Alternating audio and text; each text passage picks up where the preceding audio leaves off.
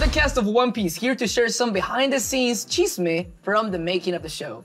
All right, first question Who is most like their character in real life? yeah? You want to do it? Do you want to do a three, two, one? No, I, that was. I mean, I feel yeah, like we were everybody- almost yeah, in sync no, there. yeah, honestly. We almost hit him in the face. It was What was the best food from craft services? Ooh, My juices were banging. Not the nachos. Not the Not the nachos. nachos. the popcorn. Oh, I knew you were going to was say that. I knew it. Which cast member was most likely to break character? I mean, I never, I don't think I remember anyone breaking character at any point.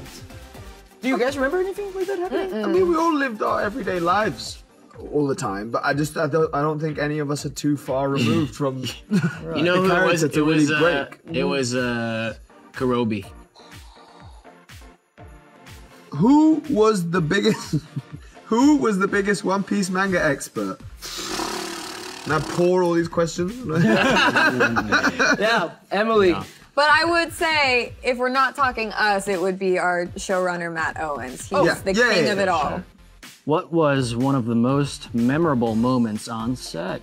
When I got punched in the face and my earrings almost fell out, hmm. Who did that? ripped out.